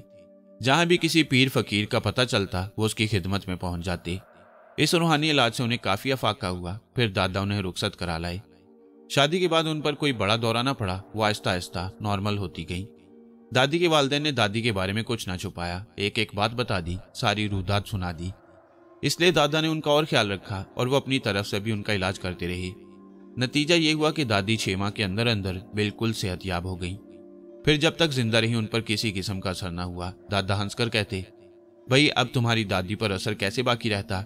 वो एक बड़े जिनके जेरे साया जो आ गई थी। दादा जब भी दादी के असर की बात किसी को सुनाते तो दादी फ़ौरन उठकर चली जाती थी। दादी ने आज तक अपनी ज़ुबान से किसी को अपनी कहानी ना सुनाई थी। अगर उनसे कोई पूछता भी तो वो हंसकर टाल देती थी। लेकिन असल में वो खौफजदा हो जाती थी। दादा की ज़िंदगी में ही दादी का इंतकाल हुआ। दादा तनहा हो गए। उनके एक ही औलाद थी, यानी फुरकान मामू के वालिद, जो एक सरकारी अफसर थे और अमूमन दौरों पर रहते। जब दादा का इंतकाल हुआ तो फुरकान मामू की उम्र उस वक्त चौदह पंद्रह साल होगी। दादा की मौत फुरकान मामू के लिए जहनी कर्ब का बायस बनी। उन्हें महसूस हुआ जैसे उनका दादा न मरा हो, बाप मर गया हो। ट्रेन अपनी पूरी रफ्तार से मंजिल की तरफ़ बढ़ रही थी। स्टेशन पर स्टेशन गुजर रहे थे। अब लाहौर नज़दीक आ रहा था। फरकान मामू की आँखों में यादों के दिए बुझने लगे थे। काले बिल्ले की आमद ने उन्हें यह वाक्य याद दिलाया। वो गहरी सोच में थे। उन्हें यूँ महसूस हो रहा था कि जैसे आइंदा कुछ होने वाला है। जब गाड़ी लाहौर के स्टेशन पर रुकी तो वहाँ बारात के इस्तकबाल के लिए लोग मौजूद थे। स्टेशन के बाहर एक लंबी बस खड़ी थी। सब लोग आराम से बस में सवार हो गए और बस समनाबाद की तरफ़ रवाना हो गई। वो काला बिल्ला अचानक ही कहीं से निकला और बस के चलते ही उसने छलांग लगाई। और सीढ़ी के ज़रिए वो बस की छत पर पहुँच गया। और किसी को एहसास तक न था कि वो काला बिल्ला बस की छत पर आराम से लेटा उनके साथ सफ़र कर रहा है। समनाबाद पहुंचकर जब बस एक घर के सामने रुकी तो बारातियों के उतरने से पहले उस काले बिल्ले ने बस की छत से दीवार पर छलांग लगाई और दौड़ता हुआ घर के अंदर चला गया। बारात के लिए एक पूरा मकान खाली करा लिया गया था। इस मकान के बराबर ही दुल्हन का घर था। बारात में आने वाली खातन के लिए दुल्हन वाले घर में एक बड़ा कमरा मखसूस कर दिया गया। वैसे भी यह घर अकबर की अम्मी के लिए नया ना था। अकबर की जिस लड़की से शादी हो रही थी, वो उनकी बहन की लड़की थी। इन लोगों का यहाँ आना जाना लगा रहता था। अकबर ने नीलम को और नीलम ने अकबर को देख रखा था। अकबर नीलम को नीलम परी कहता था और नीलम थी भी ऐसी ही। वो किसी परी की तरह हसीन थी। उसके सिहर अंगेज हुस्न से मुतासिर होकर खानदान के कई लड़के उसको हासिल करना चाहते थे। लेकिन नीलम अकबर के खाते में लिखी गई। इसलिए अकबर उसे लेने आ पहुँचा। असर के वक्त, निकाह से पहले जब अकबर की अम्मी से बरी देने को कहा गया तो उन्होंने राशिदा को आवाज़ दी। राशिदा जरा बरी वाला सूटकेस उठाओ। जी अच्छा अम्मी। राशिदा ने दीवार से लगा हुआ सूटकेस अपनी अम्मी के सामने ला रखा। अम्मी ने अपने परस से चाबियाँ निकाली और सूटकेस खोलने लगी। अभी उन्होंने सूटकेस का ढक्कन उठाया ही था कि एकदम उन्हें चक्कर सा आ गया। उन्होंने फ़ौरन अपनी नाक पर रुमाल रख लिया। बरी वाले सूटकेस का ढक्कन उठाते ही राशिदा की अम्मी को जो चक्कर आया वो सिर्फ़ उन्हीं को नहीं आया था, बल्कि उस वक्त कमरे में जितनी खातन भी मौजूद थी, सबका यही हशर हुआ। सबने जल्दी जल्दी अपनी नाकों पर दोपट्टे रख लिए। रास्ता का बुरा हाल था। उसे ना सिर्फ़ चक्कर आया था, बल्कि एकदम जी मतला उठा। वो आऊ करती बाथरूम की तरफ़ भागी और वहाँ उसकी सारी आंतें सिमट कर हलक में आ गई। रास्ता को बदबू बर्दाश्त न थी, जरा सी बदबू उसका दिमाग उलट देती। यही वजह थी कि वो हर वक्त परफ्यूम में नहाई रहती। सूटकेस से बरामद होने वाली बदबू ऐसी थी कि उसने दिमाग में घुसकर नसों तक को जला दिया। सूटकेस में मौजूद बरी के जोड़ों की बुरी हालत थी। वो सब गलाजत में लुथड़े हुए थे। उन जोड़ों को हाथ लगाना तो दूर की बात कोई उनकी तरफ़ देख भी नहीं सकता था। बदबू इतनी शदीद थी कि अब कमरे में मौजूद दूसरी खातन को भी उबकाइयाँ आनी शुरू हो गईं। कमरे से सारी खातन भाग गईं, लेकिन राशिदा की अम्मी मौजूद थी। उन्होंने बदबू से बचने के लिए अपने मुँह पर अच्छी तरह दुपट्टा बाँध लिया लेकिन बदबू थी कि फिर भी घुसी चली आ रही थी। राशिदा की अम्मी बहुत परेशान थी। उनकी समझ में नहीं आ रहा था कि बंद सूट केस में यह गलाजत कहाँ से भर गई। अम्मी ने चुटकी से उठाकर सारे जोड़ों को देख डाला। एक जोड़ा भी साफ़ ना था। नीचे तक हर जोड़ा गलाजत से भरा हुआ था। फिर उन्होंने जेवरात के डिब्बे निकाले, उन्हें खोलकर देखा, उनका भी वही हाल था। अंदर गलाजत भरी हुई थी। बरी के जोड़ों और जेवरात का यह हशर देखकर राशिदा की अम्मी सदमे से दो चार थी। ये कितनी अजीब बात हुई थी। सूटकेस में किसने गलाजत भर दी? ये बात उनकी समझ से बालातर थी। अचानक कमरे में म्याऊ की आवाज़ सुनाई दी। अम्मी ने लपक कर देखा तो एक काला बिल्ला अलमारी के पीछे से निकल रहा था। वो बाहर निकला। उसने अपने अगले पाँव पर झुककर एक जोरदार अंगड़ाई ली और अम्मी की तरफ़ देखता हुआ कमरे से बाहर निकल गया। राशिदा की अम्मी उस वक्त कमरे में बिल्कुल तनहा थी। वो बड़े मज़बूत एहसाब की मालिक थी, लेकिन उस काले बिल्ले की आँखों में ना जाने की बात थी कि उन्हें अपने हाथ पाँव ठंडे होते महसूस हुए। वह जल्दी से उठकर कमरे से बाहर आ गई। राशदा ए राशदा उन्होंने कमरे से बाहर आकर आवाज़ दी। राशदा अभी तक बाथरूम में थी। वो अम्मी की आवाज़ सुनकर भागी हुई आई। जी अम्मी। उसने अपनी नाक पर दोपट्टा अच्छी तरह लपेटते हुए कहा, जा अपने अबू और मामू फुरकान को बुला कर ला। अम्मी ने परेशान लहजे में कहा, बारात बराबर वाले मकान में ठहरी हुई थी। निकाह का वक्त करीब था, लिहाजा सब तैयार होने में लगे हुए थे। राशिदा के अबू बाबर अली ने अपनी बेटी को इस तरह बदहवासी से कमरे में आते देखा तो वो परेशान हो गई। उन्होंने घबरा कर पूछा, क्या हुआ? अबू आपको अम्मी बुला रही हैं। जल्दी चलें। फिर राशिदा ने कमरे में इधर उधर नज़र दौड़ाई, मगर मामू फुरकान नज़र न आए। अबू, मामू कहाँ हैं? अभी तो यही थे शायद बाथरूम। अभी बाबर अली इतना ही कह पाए थे कि मामू फुरकान बाथरूम से निकल आए। लो, वो आ गए। खैरियत? मामू फुरकान ने पूछा। मामू, खैरियत नहीं। अम्मी ने आपको और अब्बू को बुलाया है, जल्दी चलें। रास्ता ने घबरा कर कहा। क्यों बुलाया है? मामू फुरकान ने अपने हाथ तोलिए से पहुँचते हुए पूछा, बरी के जोड़ों का सत्यानाश लग गया है। सूटकेस गलाजत से भरा हुआ है। ये कहकर रास्ता ने फ़ौरन अपने मुँह पर दोपट्टा रख लिया। अरे, मामू फुरकान चौंक पड़े। आओ, बाबर, जल्दी चलो। ये लोग तेज़ी से बाहर निकले। राशदा की अम्मी साबरा गेट पर ही खड़ी थी। वो शदीद सदमे से दो चार थी। उनकी आँखों में आँसू भरे थे। सदमे की बात भी थी। निकाह का वक्त सर पर था। और इतनी मेहनत और प्यार से बनाई हुई बरी का नाश लग गया। सूटकेस कहाँ है? बाबर अली ने पूछा। ऐसा कैसे हो गया? वो अंदर है कमरे में। साबरा ने अपने आंसुओं को जब्त करते हुए कहा, मुझे मालूम नहीं ये गलाजत उसमें कहाँ से आई। आओ, देखते हैं। तुम परेशान मत हो। मामू फुरकान ने साबरा के कंधे पर हाथ रखकर तसल्ली दी। मैंने इतनी मेहनत से बरी तैयार की थी। इतने शौक से एक एक जोड़ा बनाया था। साबरा ने हाथ मलते हुए कहा, सब बर्बाद हो गया। जिस कमरे में सूटकेस था, वहाँ कोई ना था। इस वाक्य ने घर की तमाम खातन को खौफ में मुबतला कर दिया। मामू फुरकान ने आगे कदम बढ़ाई। उनके पीछे बाबर अली थे। कमरे में दाखिल होते ही बदबू का एक तेज भपका आया। हालाँकि सूटकेस बंद था। मामू फुरकान ने फ़ौरन अपना सांस रोक लिया और तेज़ी से नाक पर रुमाल रख लिया। बाबर अली का भी यही हाल था। वो भी अपनी नाक रुमाल से ढक चुके थे। साबरा कमरे में ना आई थी।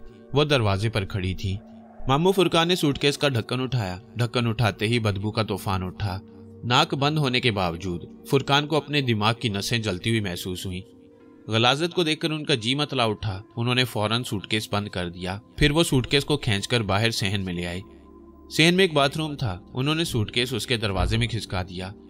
घर में कोई पानी का पाइप नहीं? मामू फुरकान ने पूछा। पास खड़ी साबरा ने अपनी बहन वाजदा की तरफ़ देखा। वो फ़ौरन बोली, जी है। जरा लाएँ, मामू फुरकान ने कहा। पाइप आने के बाद उन्होंने सेन में लगे नलके में लगाया और नलका खोलकर देखा। पानी बड़े प्रेशर से आ रहा था। पाइप से खासी मोटी धार बरामद हुई। मामू, क्या करना है? साबरा ने पूछा। गलाजत धोनी है, और क्या करना है? मामू, आप ठहरे में मुलाजमा को भेजती हूँ। इस मरतबा वाजदा ने कहा और अंदर चली गई। चंद लम्हों बाद एक मुलाजमा आई। उसने दुपट्टे को अच्छी तरह डाठा बनाकर बांधा हुआ था। मामू ने भी एक बड़ा कपड़ा लेकर अपने मुँह पर अच्छी तरह ढाटा बाँध लिया। अब चेहरे पर सिर्फ़ उनकी आँखें नज़र आ रही थीं। मामू फुरकान ने पाइप लेकर कपड़ों पर पानी की मोटी धार डालना शुरू की। मुलाजमा एक एक जोड़ा बाहर निकालती गई। उन खुले जोड़ों से इस कदर शदीद बदबू उठ रही थी कि पास पड़ोस के मकीन भी परेशान होकर बाहर आ गए और हैरानों परेशान होकर देख रहे थे कि यह बदबू कहाँ से आ रही है। कपड़ों से जब अच्छी तरह गलाजत दूर हो गई तो उन कपड़ों को सरफ के पानी में डाल दिया गया। इसके बाद जेवरात के डिब्बों को भी इसी तरह पानी में धोया गया। निकाह जो असर के बाद होने वाला था, उसे मुलतवी करके ईशा के बाद रखा गया। निकाह के जोड़े को जल्दी जल्दी स्त्री से सुखाने की कोशिश की गई। जोड़ा तो सूख गया, लेकिन उसमें से बदबू ना गई। इस सूरत हाल ने फिर घर वालों को परेशान कर दिया। मामू फुरकान ने मशवरा दिया कि किसी अच्छे ड्राई क्लीनर से जोड़ा अर्जेंट ड्राई क्लीन करवा लिया जाए। निकाह तो ईशा तक मुलतवी कर दिया था। अभी वक्त था। एक बंदे को गाड़ी पर शहर के एक बड़े ड्राई क्लीनर की तरफ़ भगाया गया। वो एक घंटे में कपड़े वापस लेकर आया। लेकिन नतीजा वही ढाक के तीन पात। कपड़ों से अब भी हल्की हल्की बदबू आ रही थी। जेवरात का भी यही हाल था। उन्हें अच्छी तरह सरफ में धोने के बावजूद उनसे बदबू ना निकली। पता नहीं ये किस किस्म की बदबू थी। अब क्या करें? साबरा ने बाबर अली से पूछा, जोड़ा इस काबिल है कि इसे पहना जाए? और ना ही जेवरात। वैसे वाजदा कह रही हैं कि परेशान होने की ज़रूरत नहीं। नीलम के पास बहुत जोड़े हैं, उनमें से कोई पहन लेगी। नहीं, ये कैसे हो सकता है? बाबर अली ने कहा। क्यों मामू, आपका क्या ख्याल है? मैं तुम्हारे ख्याल से मुतफिक हूँ। दुल्हन को हमारे यहाँ का जोड़ा पहनना चाहिए। मामू फुरकान ने कुछ सोचते हुए कहा, और ये कोई ऐसा मुश्किल काम नहीं। लेकिन इतनी जल्दी नया जोड़ा कैसे बन जाएगा? बाबर अली ने मामू फुरकान की आँखों में देखते हुए कहा, आजकल बाज़ार में सब कुछ मिल जाता है। यह हमारे वक्तों का जमाना नहीं है कि महीनों शादी की तैयारी करना पड़ती थी। अब तो चार दिन में शादी की पूरी तैयारी हो सकती है, मामू फुरकान ने हंसकर कहा। ठीक है, फिर बाज़ार से जाकर एक जोड़ा और जेवरात का एक सेट खरीद लाते हैं, बाबर अली ने कहा। क्यों, साबरा ठीक है ना? जी, बिल्कुल ठीक है, लेकिन कुछ पैसों का मसला होगा, साबरा ने फिक्रमंद होकर कहा। पैसों का कोई मसला नहीं, मैं तुम लोगों के साथ चलता हूँ, मेरे पास पैसे बहुत हैं। मामू फुरकान ने अपनी जेब पर हाथ रखते हुए कहा। मामू फुरकान तकरीबन तैयार ही थे। बस दूसरे मकान में जाकर उन्होंने अपना कोट पहना और अपने सूटकेस में से मजीद पैसे निकालकर जेब में रख लिए। इस वक्त उनकी जेब में अच्छे खासे पैसे थे। दस हज़ार साबरा ने अपने परस में रख लिए। जब वाजदा और उनके शौहर को पता चला कि ये लोग बरी के जोड़े और जेवर खरीदने के लिए बाज़ार जा रहे हैं तो उन्होंने उन्हें रोकने की कोशिश की, लेकिन बाबर अली और फुरकान मामू नहीं माने और वह फ़ौरन गाड़ी लेकर अनारकली की तरफ़ चल दिए। अकबर को जब ये मालूम हुआ कि बरी के जोड़ों और जेवरात का क्या हशर हुआ है तो वो परेशान हुए बगैर न रह सका। सूटकेस में गलाजत किसने भर दी? ये सोच सोचकर वो हलकान हो गया। फिर उसे फ़िक्र हुई कि अब सब बरी के जोड़ों का क्या होगा, कहाँ से आएँगे? फिर उसे किसी ने बताया कि मामू फुरकान तुम्हारे अम्मी अबू को लेकर अनारकली गए हैं। बरी का जोड़ा और जेवरात लेने तो उसकी कुछ जान में जान आई, वरना उसे तो शादी खतरे में पड़ती नज़र आ रही थी। बरी के बगैर कैसे होती शादी? गाड़ी समनाबाद से निकली तो मामू फुरकान, जो अगली सीट पर बैठे थे, मुड़कर बाबर अली से मुखातिब हुए। भाई बाबर, तुम्हारी बीवी तो जिन्नात पर यकीन रखती नहीं है। ये तो मुझे भी तोहम परस्त कहती है। लेकिन तुम दोनों अब मुझे ये बताओ कि ये गलाजत सूटकेस में कहाँ से आई? पिछली सीट पर बाबर अली के साथ साबरा बैठी हुई थी। मामू फुरकान की बात सुनकर उसने कहा, मामू फुरकान, मैं तो चकरा कर रह गई हूँ। समझ में नहीं आ रहा कि ये सब क्या हो रहा है। अकल को दंग करने वाले वाक्यात पै दर पै क्यों हो रहे हैं? साबरा, तुमने ट्रेन में काले बिल्ले को देखा था? मामू फुरकान ने पूछा। जी, देखा था, साबरा ने जवाब दिया। तुम्हें उसे देखकर क्या महसूस हुआ? मामू फुरकान ने दूसरा सवाल किया। मुझे उसे देखकर यह महसूस हुआ कि वो एक काला बिल्ला है, साबरा ने बड़े इतमान से जवाब दिया। वो काला बिल्ला तुम्हारे अकबर के कंधे पर कूदा था, मामू फुरकान ने बताया। अच्छा फिर? साबरा ने मामू फुरकान को गौर से देखते हुए कहा, तुम्हारे बेटे ने उसका वज़न एक गधे के बराबर महसूस किया। मैं उसी वक्त खटक गया था, लेकिन मैंने अकबर से कुछ नहीं कहा। मैं नहीं चाहता था कि वो खौफजदा हो जाए। क्या मतलब है आपका? साबरा ने बगैर परेशान हुए पूछा, वो काला बिल्ला महज काला बिल्ला न था? कुछ और था? मामू फुरकान ने कहा, वो काला बिल्ला तो मुझे घर में भी नज़र आया था। वो उस वक्त अलमारी के पीछे से निकलकर कमरे के बाहर निकल आया था, जब मैंने सूटकेस खोला था, साबरा ने बताया। अब कुछ यकीन आया? मामू फुरकान बोले, डर तो मुझे लगा था उसे देखकर, खासकर उसकी सुरख आँखों में कुछ था। लेकिन फिर वो मेरे जहन से महव हो गया। लेकिन मामू फुरकान वो बिल्ला नहीं तो और क्या है? साबरा ने पूछा। इस बात का मुझे यकीन है कि वो बिल्ला नहीं है, वो कोई और मखलूक है। अब क्या है उसके बारे में? मैं सही तौर पर कुछ नहीं बता सकता। एक आध बार उसे देख लूँ, फिर ही कुछ बता सकूँगा। कि आज के जमाने में भी भूत प्रेत होते हैं? इस मर्तबा ड्राइवर बोला, उसकी आवाज़ से खौफ झलक रहा था। मुझे तो बड़ा डर लगता है जी। भाई, भूत प्रेत का तो पता नहीं, मेरा कभी वास्ता नहीं पड़ा, लेकिन जिन ज़रूर होते हैं।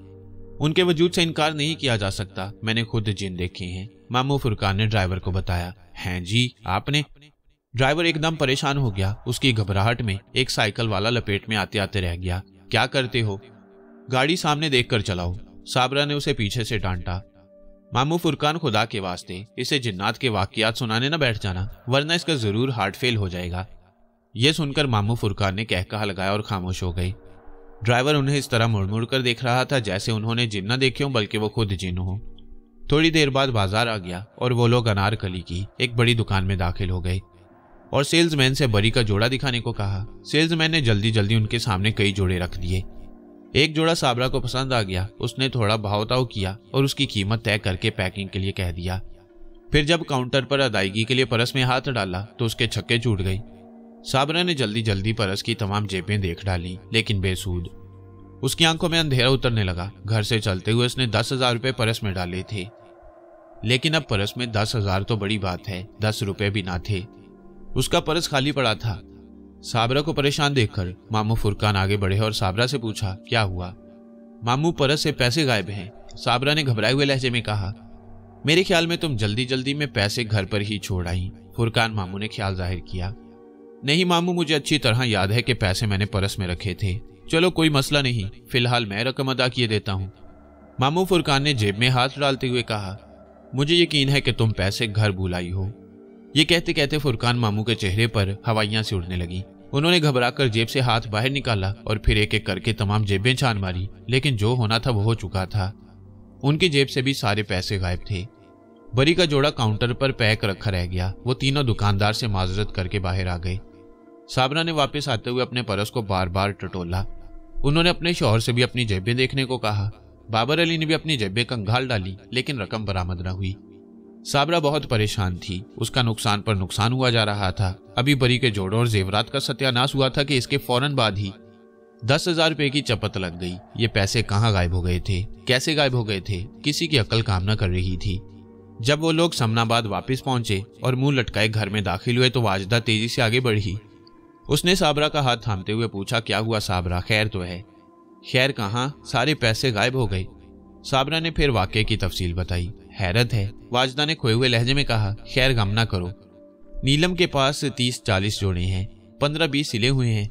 उनमें से कोई एक पसंद कर लो, वो हम बरी का जोड़ा समझकर पहना देंगे। तुम अपना दिल ना दुखाओ। अच्छा। साबरा ने गहरी सांस लेकर कहा, अब इसके सिवा चारा भी क्या था? जोड़े का मसला हल हुआ तो एक दूसरा मसला खड़ा हो गया।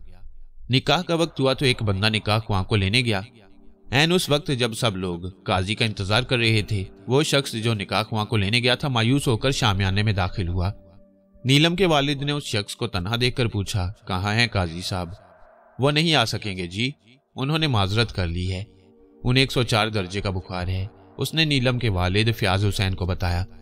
उन्हें भी आज ही बुखार होना था, फ्याज हुसैन ने गुस्से से कहा। फिर एमरजेंसी में एक और निकाह खुआ का इंतज़ाम किया गया। जैसे तैसे हाँपते कामते दूसरे काजी साहब आ गए। स्टेज पर पहुंचकर उन्होंने कागजात खोले, निकाह के रजिस्टर पर ज़रूरी इंदराज किया। इंदराज करते हुए बार बार उनका हाथ रुक जाता और वो गर्दन उठाकर इधर उधर देखने लगते। कोई ऐसी चीज़ ज़रूर थी जो उनकी तवज्जो बटा रही थी। लेकिन उनकी समझ में खुद ये बात नहीं आ रही थी कि वो इंदराज करते करते किसको गर्दन उठाकर देखने लगते हैं। खुदा खुदा करके इंदराज पूरा हुआ, तब काजी साहब ने इजाबो कबूल का सिलसिला शुरू किया। इधर इजाबो कबूल का सिलसिला शुरू हुआ। उधर वो शामियाने में दाखिल हुआ और उछलकर स्टेज पर चढ़ा। फिर वो खामोशी से सोफे के नीचे बैठ गया। उसी सोफे पर अकबर सेहरा बांधे बैठा था और उसके पाँव और उसके पाँव के दरमियान दो तीन इंच का फासला था। काजी साहब ने एक झुरझुरी सी ली। उन्हें अचानक ही अपनी रीढ़ की हड्डी में सर्दी उतरती हुई महसूस हुई। उन्होंने जल्दी से दुल्हा के सामने इजाब कबूल के लिए लड़की का नाम वल्दियत और मोहर वगैरह दोहराई। मगर उनसे कोई गलती हो गई। उन्होंने नीलम के वालिद का नाम फ्याज हुसैन की बजाय सरफराज हुसैन लिखा।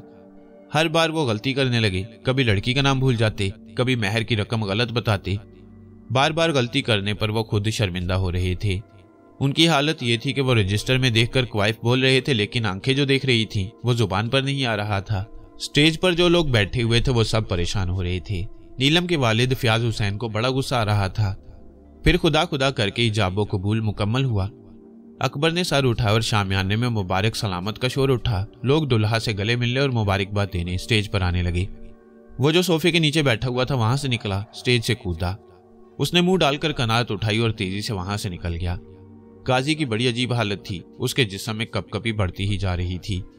लिहाजा उन्होंने खाना भी ना खाया, निकाह पढ़ाया, अपने पैसे वसूल किए और हाँपते कांपते शामियाने से निकल गए खाने के बाद दुल्हन रुखसत हुई। वो रुखसत होकर बराबर वाले मकान में आ गई। उस मकान में जहाँ बारात ठहरी थी। इस मकान के एक कमरे को दुल्हा दुल्हन के लिए मखसूस कर दिया गया। इसे अच्छी तरह सजाया गया। गुलाब के ताज़ा फूलों से खूब महकाया गया। साबरा और वाजदा दुल्हन के पास बैठी थी और आपस में बातें कर रही थी। आज दिन भर जो बीती थी उसकी रुदाद साबरा बता रही थी। नीलम उनके पीछे खामोश बैठी थी। वो ये सारी बातें सुनकर परेशान हो रही थी। इधर दूसरे कमरे में फुरकान मामू, बाबर अली और फ्याज के सामने बैठे थे। अकबर अपने खानदान के हम उम्र लड़कों के साथ तीसरे कमरे में बैठा खुशगपियों में मसरूफ था। फुरकान मामू ने खाना कुछ ज़्यादा ही खा लिया था। पेट पर कसी हुई पैंट उन्हें परेशान कर रही थी।